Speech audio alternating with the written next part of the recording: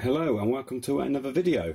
Well, it's finally arrived, the Fun Cube Dongle Pro Plus, which I've been waiting a couple of weeks for because I think the eBay seller I bought it off of was, was out of stock, so we had to get some more. Um, but anyway, it's finally arrived today, and let's have a look inside as we unbox it. Right, well, all that's come with it is this, is just, oh, just, just an invoice, and the only other thing that's come with it is is this. It's inside this case. Fun Cube Dongle uh, Pro Plus serial 14059 and where the documentation and everything is online. And here it is. Um, USB on one end and an SMA connector on the other end. Fortunately, this was my other software-defined radio, which doubles as a scanner and a software-defined radio, but I never found it particularly that brilliant. Maybe just the way I had it set up but we'll see if we can do any more with this. And I've got this is an SMA connector, and this will this will connect to it, and then I'll plug it into here. In fact, I'm, well, well, it's plugged in. The antenna's plugged in, and the um, antenna I've got I might show in a minute. I might go outside and just film it, but switch it over to that onto on my antenna switch. As you can see, I've got various radios here. Another scanner, the HF, UHF, um, a Wouxun 2 meter handheld. And my FT2000 um, but I'm really interested in software defined radio so I want to see I want to see what we what we can do with this. Apparently you can do um, well obviously receive everything as you normally could but also um, you can decode weather satellites and all, and all that sort of thing too so let's uh, bring up some software well, it's working on um, SDR Sharp. This is 97.3 a London station, which is um, about 40 odd miles miles away from me. Um, if we click on, it's in mono, the, the quality is very, very good. It's just be phoning in, so, but if we um, change it to FM stereo, we should hear the hiss. She did seem to rally. Yeah. There you go, that was more local stations that hiss would go. Happy to just keep her there, but then she went downhill again the antibiotics. Here's some 2 metre USB, SSB, which uh, I don't think I've ever actually tuned into before because my scanners now uh, haven't got the USB function on them. But obviously this SDR does, because obviously the uh, dream of, S of, of, SDR, the ultimate, is just plug an arrow into an analog to digital converter and then the software sorts everything, it receives everything and it just filters out what it doesn't want. Um, and there's all sorts of filters on there. Look, let's let's go down with this filter and see what happens.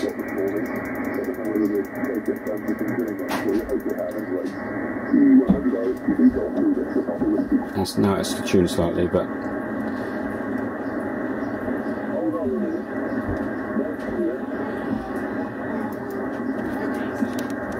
Right, there's my uh, VHF uh, UHF aerial. Um, there is one of the things at the bottom that comes out of it missing, so it's probably not as effective as it should be. It's only a cheap one. I'll just zoom in past my uh, my motorized satellite dish, so you can see. That's what I've been using on, on that radio so far. However, I have also my FT2000s plugged in, and I can plug it into the dongle too. My HF half size G5RV, if you can see it It's not very high though, it just goes up to the chimney, I don't even know if you can see it there, and it goes up into that tree. Some coils each end of it, but we don't know if they're, they're rubbish or, or not really. But it's been okay, but it does need to go a lot, lot higher in order for it to be effective, and that will be one of my next missions. Right, here we are on the 6 meter band, 50 megahertz. Um, I just want to compare this to what, to what it's like on the scanner.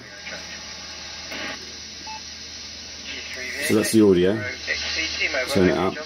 Now let's switch over to the scanner and switch it into scanning all the amateur stuff now. Let's turn it down here.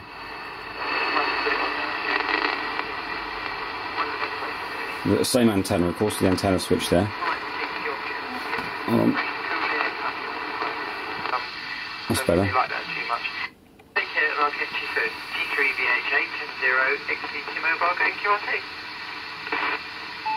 Yeah, so it's about the same, maybe slightly better on the scanner, on the analog scanner, but uh, maybe some improvements I can make on the uh, uh, on on this to uh, to you know make the audio all the filters and everything set up so the audio is as good as it is on the scanner.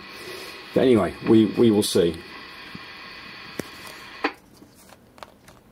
And here's a Funcube Dongle with HD SDR um, on a two meter repeater local one. Very good quality sound. Um, and um, it's work, working really well. Oh yeah, I had to I had to download the driver for this, um, but it makes it work with it really well. And these other, let's look at these other signals. What that is.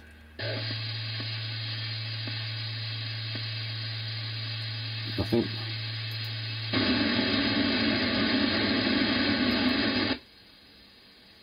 Quiet, but nothing. And back to the But uh, the problem hasn't been resolved. Or at least it was resolved very temporarily.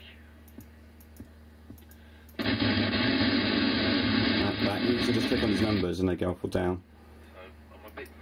So I'm a bit miserable To about tune it. that. But you know, there are people in much worse condition than I am, so I've got to figure out what to do next. So yeah, all in all, I think it's well worth the money. Radio mobile G3VHH, I can imagine. Oh, sorry to hear about that. I, was, I, I fell off a chair and hurt my back, and that was bad enough. I'll have to um, have to test it on SSB as well. Nothing like you've got. Well, after a couple of days of using, I'm happy with the Funcube dongle. It compares favourably with, with, with my scanner uh, that, that I've got here. Um, and as you can, and I, I'm using, I've decided to settle on the HD SDR software. Um, I programmed some frequencies into the into the side here. You know, airband utilities, um, and amateur uh, amateur repeaters, and so on, and also US to meet USB calling. This station now is a two meter USB station, and you can see some signals there on the USB band. There's a bit of a lift on this morning, so obviously everybody's trying to get some DX, I believe.